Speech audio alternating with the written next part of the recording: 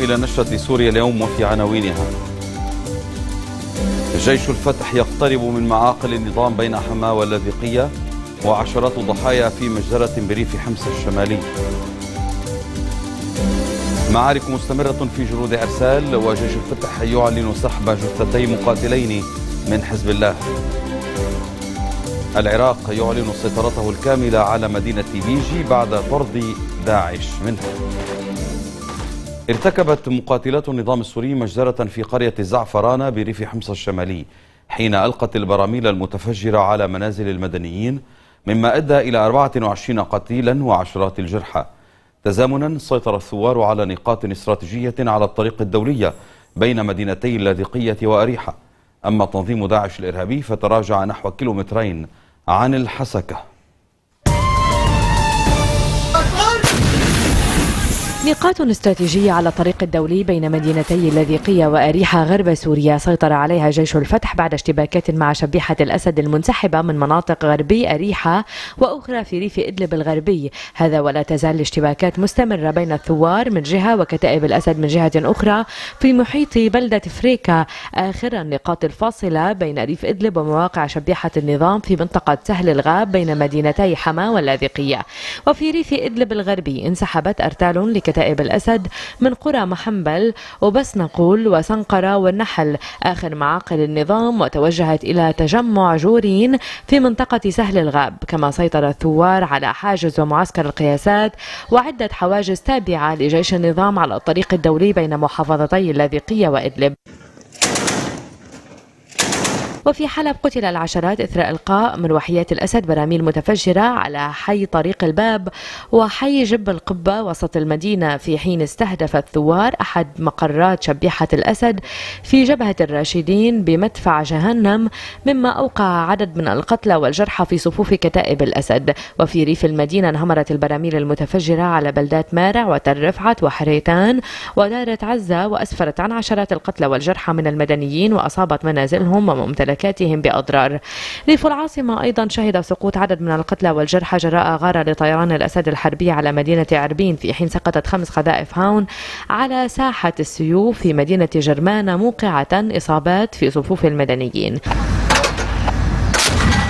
وفيما يتعلق بتنظيم داعش استهدف طيران التحالف الدولي مقرات التنظيم الإرهابي في مدينة صرين وقرية ديكان في حلب في حين تراجع التنظيم إلى بعد كيلومترين عن مدينة الحسكة في شمال شرق سوريا وبالتحديد إلى محيط سجن الأحداث إثر اشتباكات عنيفة مع شبيحة النظام. وتزامن ذلك مع مشاركة الأكراد في المعارك للمرة الأولى منذ بدء الهجوم وفق المرصد السوري لحقوق الإنسان.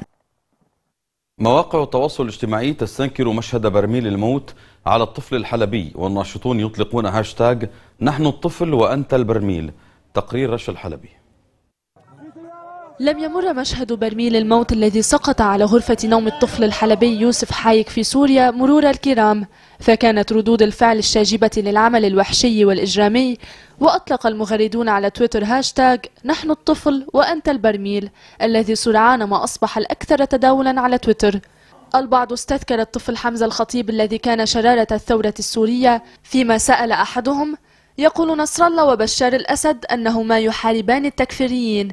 فهل هذا الطفل الذي قتله برميل الموت تكفيري؟ كما نشر البعض صورا كاريكاتورية تعبر عن تلك الحادثة المؤلمة وأمام انحياز البعض الأعمى إلى ثقافة البراميل كتب المغردون أطفالنا عصافير تغرد بالجنة ووحده جحيم حقدكم سيحرقكم في الدنيا والآخرة ولعل بكاء والد الطفل المفجوع ابنه ورثاءه وهو أمام ناظريه تحت الأنقاض هي صورة من بين الملايين التي شهدتها سوريا في الأعوام الماضية والتي عرت الأعمال الإجرامية فأجازت الانحياز لطرف والقول نحن الطفل وأنت البرميل.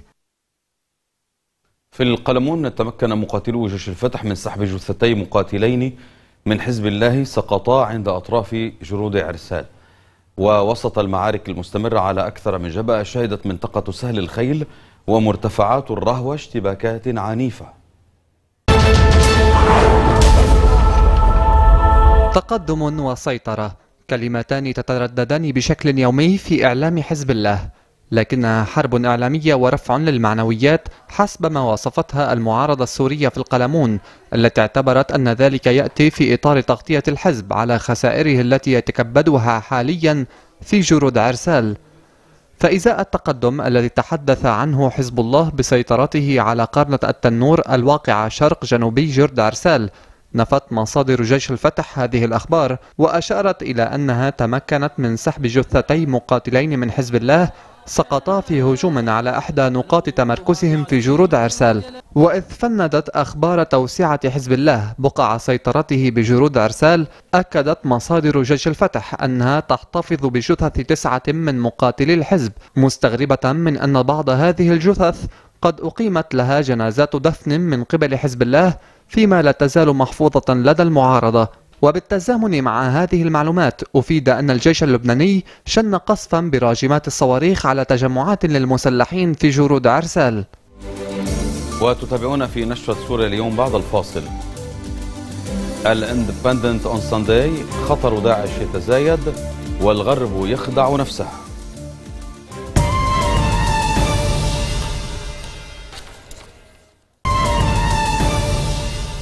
أعلنت ميليشيات الحشد الشعبي والقوات العراقية فرض السيطرة العسكرية الكاملة على مدينة بيجي شمال تكريت ورفع العلم العراقي على مبنى القائم مقامية. وقد أسفرت معارك تحرير القضاء عن مقتل أعداد كبيرة من مسلحي تنظيم داعش الإرهابي فضلا عن تكبيدهم خسائر كبيرة بالمعدات. من جهة أخرى قتل 22 عنصرا من تنظيم داعش في الموصل حين صدت قوات البشمركة هجوما نفذه المسلحون بهدف إعادة قضاء مخمور إلى قبضتهم.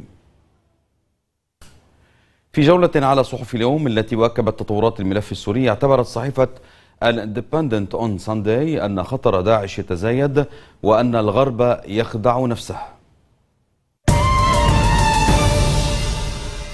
صحيفة الإندبندنت اون سانداي البريطانية نشرت موضوعا لباتريك كوكبرن تحت عنوان بينما يتصاعد خطر داعش يتزايد أيضا خداع الغرب لنفسه ويمهد كوكبرن لفكرته بالمقارنة بين ما يقوم به الغرب اليوم وما فعله الأباطرة الصينيون في عصر انهيار دولتهم حيث كان كبار رجال الإمبراطورية يتلقون أخبار الهزائم العسكرية المتتالية لجيوش الإمبراطور لكنهم ببساطة يعلنون الانتصار على قوات العدو البربرية. ويوضح الكاتب أن خداع النفس الذي مارسه الصينيون في تلك الفترة هو نفس الأسلوب الذي يخدع به الغرب نفسه حاليا في الحرب ضد تنظيم داعش.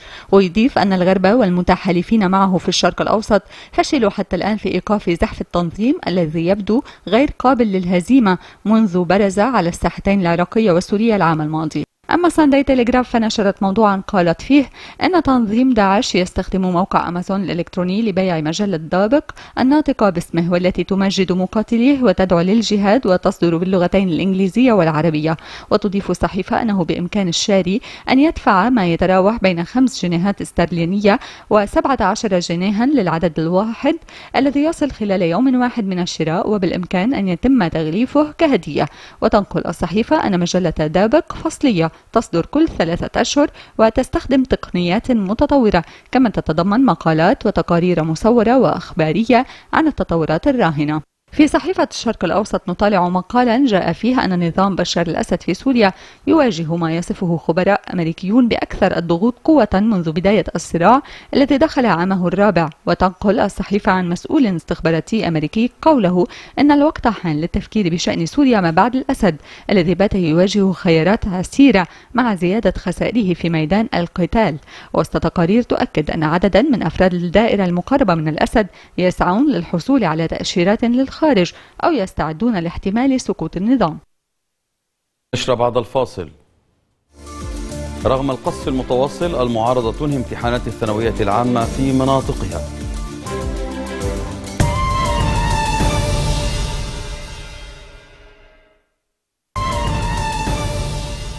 إلى العاصمة المصرية القاهرة بدأ يتوفد المشاركون في اجتماع المعارضة السورية الذي سيعقد يومي الاثنين والثلاثاء برعاية المجلس المصري للشؤون الخارجية ومشاركة نحو 220 معارضا سوريا. وسيبحث المؤتمر في خارطة طريق تؤكد أن لا مكان لبشار الأسد في مستقبل سوريا وتدعو لتشكيل هيئة حكم انتقالي وإعادة بناء الجيش الوطني السوري. رغم القصف المتواصل وإلقاء البراميل المتفجرة على مدنهم وبلداتهم أنهى طلاب الثانوية العامة بفرعيها العلمي والأدبي امتحانات نهاية العام في مناطق سيطرة المعارضة السورية بعد عشرة أيام على انطلاقها.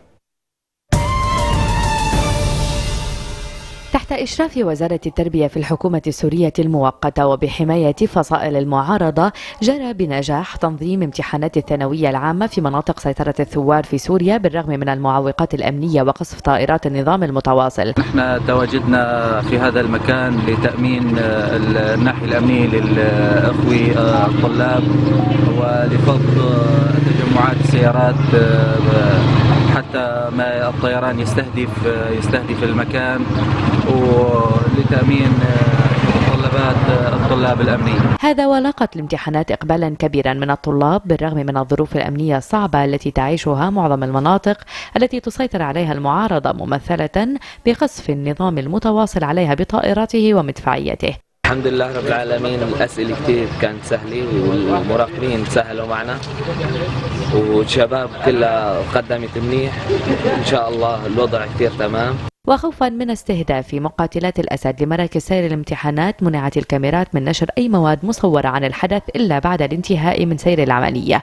طبعا التمويل بما يقابل ازدياد عدد الطلاب الهائل الذي أصبح عندنا هذا العام، العام الماضي كان عندنا في إدلب 3052 طالبا وطالبة طبعا، في هذا العام تجاوز العدد ال 15000 يعني ثلاثة أضعاف العدد آه، السابق. والامتحانات تسير والحمد لله رب العالمين ب آه، مهنية عالية من زملائنا وأصرار من طلابنا على متابعة آه، التعليم ونيل الشهادة.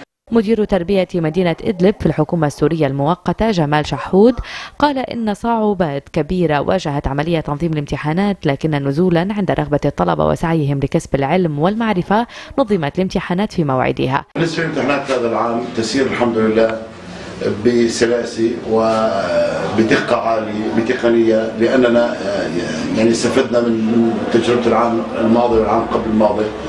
آه، عدد الطلاب في تزايد هذا العام خاصة بعد تحرير محافظة مركز محافظة وتحرير مدينة الشهور. يذكر بأن كتائب الأسد حولت قرابة 1200 مدرسة في سوريا إلى مراكز اعتقال وتعذيب في ظل اكتظاظ السجون المركزية للنظام بأعداد كبيرة من المعتقلين تجاوزت 215 ألفا وأغلبهم معتقلين تعسفيا بحسب الشبكة السورية لحقوق الإنسان. في الختام تذكير بعناوين النشر. جيش الفتح يقترب من معاقل النظام بين حماة واللاذقية وعشرات الضحايا في مجزرة بريف حمص الشمالي. معارك مستمرة في جنود إرسال وجيش الفتح يعلن سحب جثتي مقاتلين من حزب الله.